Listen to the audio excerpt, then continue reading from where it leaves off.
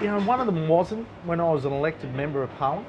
I mean, I, and why do I say it to you? Because it just shows you don't have to be in Parliament to actually make a difference. I mean, it helps considerably.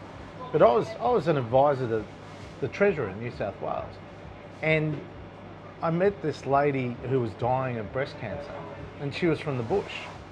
And, uh, you know, I asked her, I said, when did you detect it? And she said, well, I've had it for a while, but we never had it detected because we've been in a terrible drought and I couldn't afford the petrol to go to a hospital to get screened.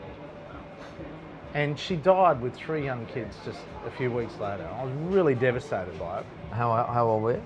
Oh, I was 20, 24, 25, maybe about that. I was really devastated because I remember her face, you know, I still do. And um, so, you know, I went to the Minister for Health, who I knew, but, you know, at the time, and uh, I said, why haven't we got mobile breast screening vans going around regional New South Wales? He said, well, it's money.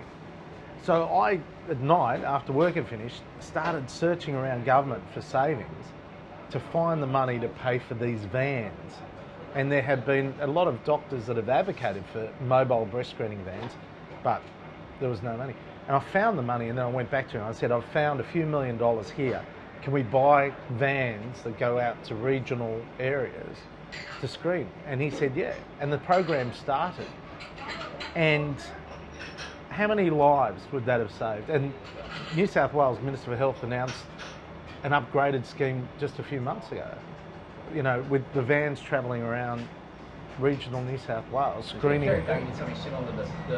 Heart start defibrillators, Yeah, yeah. but they're pack away. But, but this is the thing. It's, it's it's about how you don't need to be a treasurer, a prime minister, or a minister to change the world. It's about how determined you are to have a go. And I have seen lots and lots of examples.